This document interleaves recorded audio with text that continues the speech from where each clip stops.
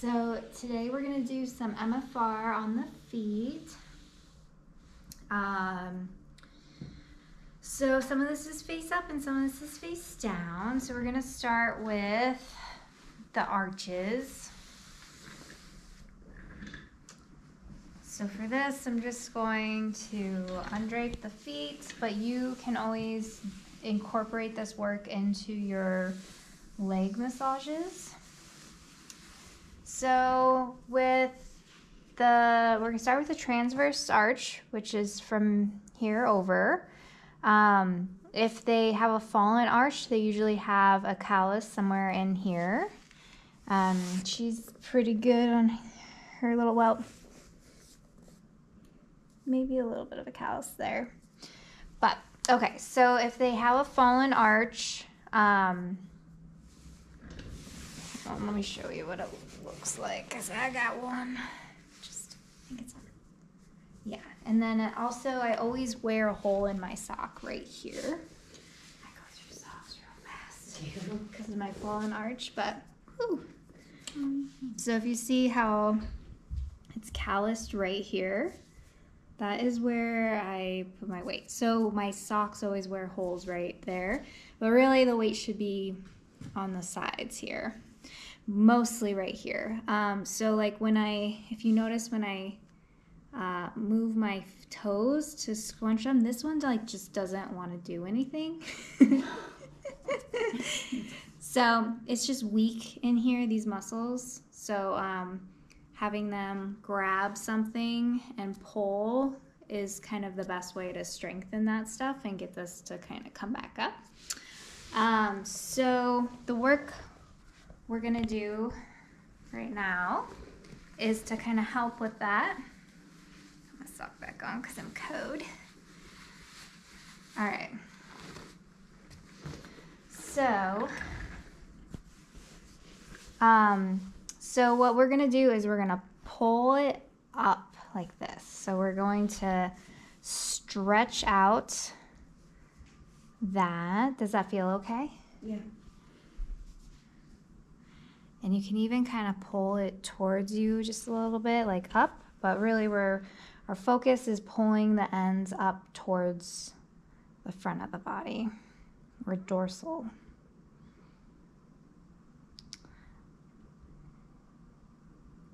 And you're just gonna hold that for the two to five minutes of normal myofascial work.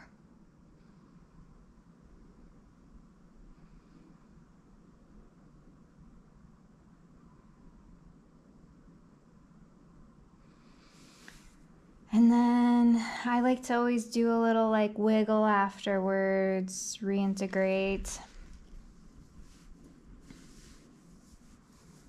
Um, you can also push up and go this way if it feels better. Do you have a preference on which one feels better? No. Okay. Her arches seem pretty normal in there, so.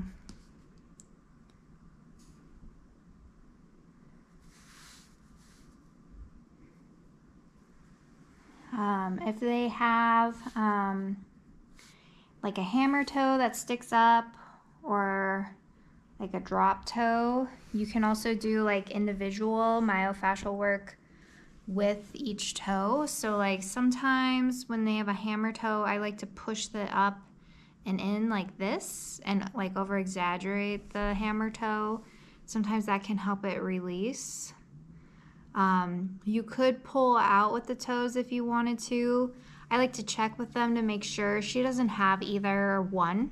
Um, if you bend the toes like this and you you should be able to see all the knuckles. If you can't see the knuckles then they might have a drop toe or, or something. So um, her feet are pretty good.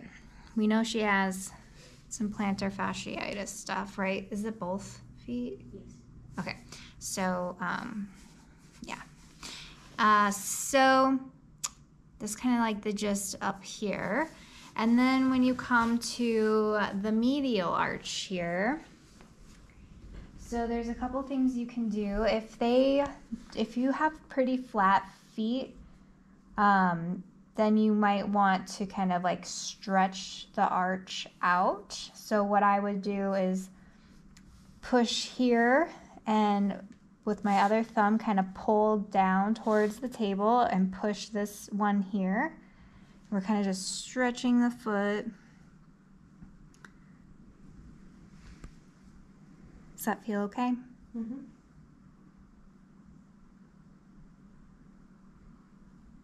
And I guess since this is all pretty much seated work, you guys don't have to worry too much about table height.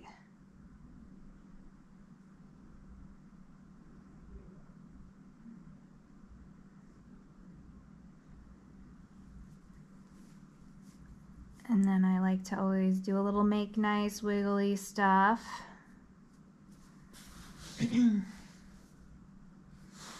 um, you can also push in this way and push out, like up and out this way.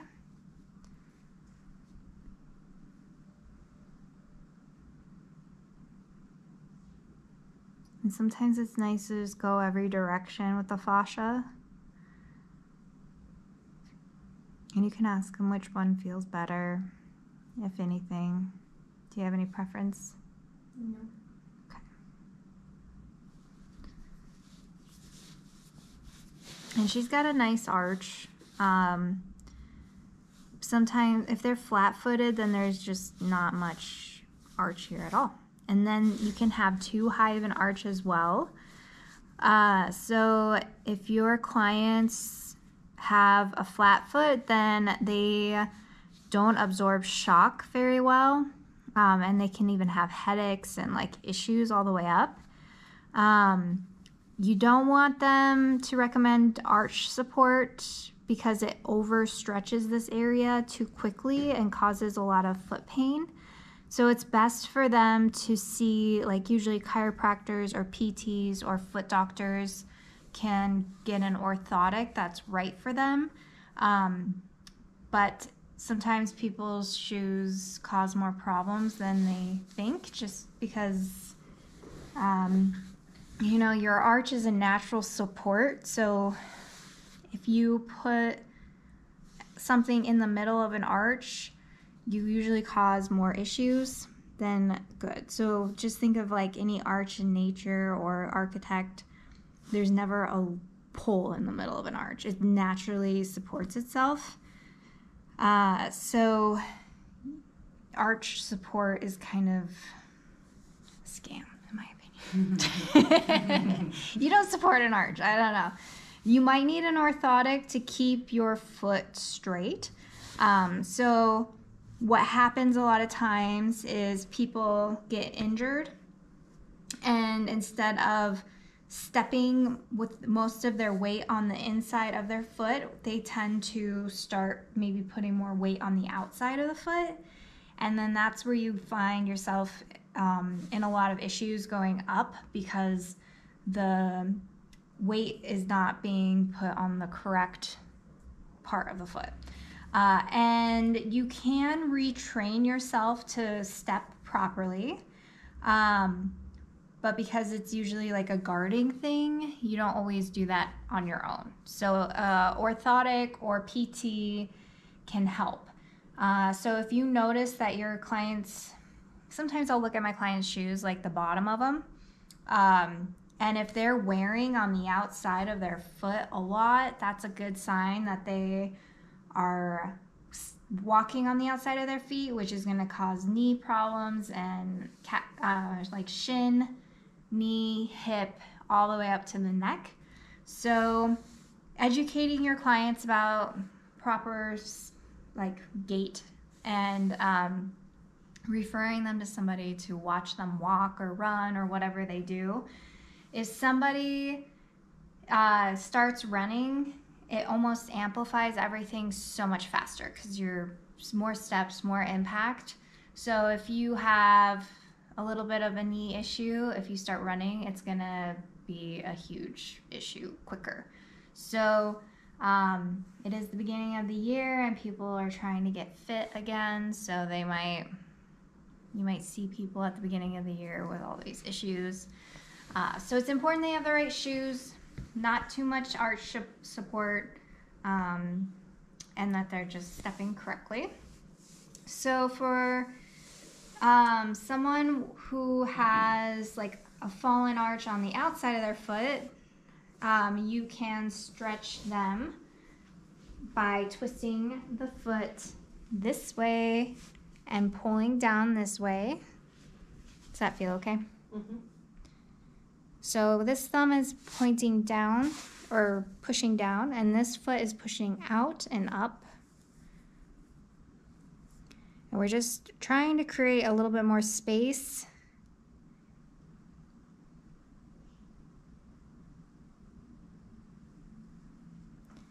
And typically with this one, I like to address the fibula as well, um, and like the ankle bones because a lot of times the ankle gets pretty locked up, especially if you are putting too much weight on the outside of your foot. Um, so you can just do a little bit more of a drape here. So you can do either like cross hand on the outside of the foot. Um, you can also do like uh, where you hold here and then you bend the foot like this. Does that feel okay? No? Sorry. I talking camera. It's fine. Does that feel okay?